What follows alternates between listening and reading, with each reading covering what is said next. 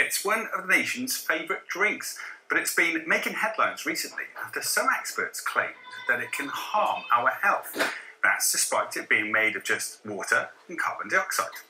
So, is sparkling water really that bad for you? Well, Angela Rippon investigates in this week's Truth or Scare. It's a sound most of us recognise as soon as we hear it. It sounded like a bottle opening that. If you're in need of a drink, it's a good sound to hear. It's very satisfying. It's like a kind of hot weather Yeah. night in the park.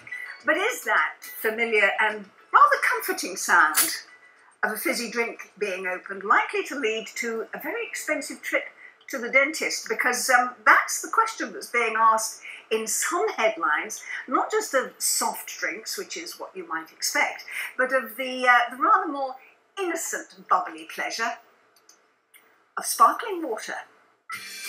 Yes, these articles claim that it's the fizz in drinks which could cause harm to your teeth, which is why even sparkling water is described as harmful.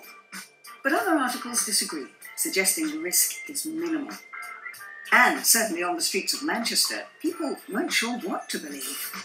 Honestly, I have no idea if sparkling water is any better than uh, Diet Coke. I guess I'm sure it is because it's not got sugar in it, but uh, I'm sure it's still not great for your teeth either. but it's not that pure as we probably would assume it to be. It's strange because it probably does the same thing as fizzy drinks, but I don't think of it in the same way. I've come to meet Dr. Anoup Nandra, a dentist with nearly 20 years' experience, to see what his opinion is of sparkling water on your teeth. So the, the fizz is, is made by injecting carbonated acid into the water, which gives you the bubbles. Now, when that hits your teeth, it has a, a lower pH than a, a neutral pH of 7 and causes something called acid erosion of the enamel of your teeth.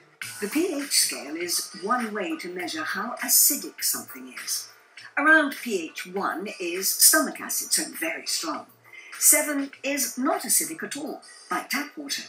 And it goes right the way up to 14 for something extremely alkaline, like drain cleaner.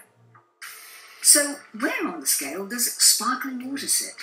Well, you'd expect it to be slightly more acidic than tap water, so it'll most likely come out lower than pH 7. But equally, it shouldn't be quite as acidic as a fizzy drink like cola, which can be found at around pH 2.4. To find out for sure, we're testing five popular brands of sparkling water sold across big supermarkets. Their pH levels will be measured by senior lecturer in physical chemistry, Dr. Mauricio Cafiero from the University of Wolverhampton. So we're going to see what we actually get when you open it and you're ready to drink it, what the pH is at that moment. Okay, All right, we can start with our Highland Spring. you hear the sound immediately, don't you? So yeah, so that carbon dioxide is leaving it. You can see the bubbles rushing to the top as the carbon dioxide leaves.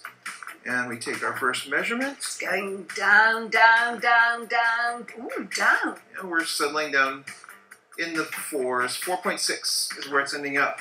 Oh, and this one has a lot. Lots of bubbles coming up. Looks like we're settling right around five. Let's try. Very good. Ooh, that is low, isn't it? Yep, settling right around 4.6. And see this one. Yep, 4.69. Fairly low on the acidity scale. Pellegrino, the last one to do. 4.48. Four eight. Yeah. So, having done that experiment for us, what is your analysis? Well, it is more acidic than you would say tap water, non-carbonated water, but it's not as acidic as say orange juice or some kind of other fizzy beverage that you might have at home. Our results were all below pH 5, which means these sparkling waters are at least 100 times more acidic than tap water, which is pH 7. And that's because every pH number we move down the scale, the acidity increases by 10 times. Which means soft drinks like cola at pH 2.4 are nearly 40,000 times more acidic than tap water. But the big question, of course, is what does this mean for our teeth? My advice to my patients is when you're having acidic food or drink is to avoid the amount of time that it stays in contact with your teeth. Um, because you want to reduce the amount of opportunity that it has to destroy your teeth. Anoup, as we've seen, the headlines about sparkling water are very contradictory. Some bad, some good. But is there actually good in drinking carbonated water? Low doses and not drinking it too frequently, sparkling water is absolutely fine. It doesn't contain sugar, so it, it's the best of the acidic drinks. If you're going to drink something with bubbles in it, it's the one I'd recommend. Not champagne? Uh, maybe on occasion, champagne.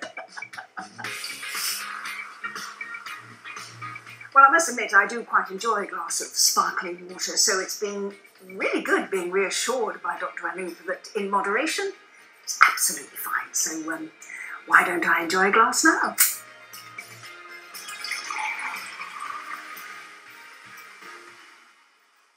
Cheers, Angela. Yeah, I'm with her though. I like the champagne. yeah. I bet you do. Jennifer's got a good idea. I drink it through a straw so it won't harm my teeth as much. Now I don't know if she's talking about the champagne Or the or the fizzy water. That works for lipstick, both ways. Thank you, Jennifer.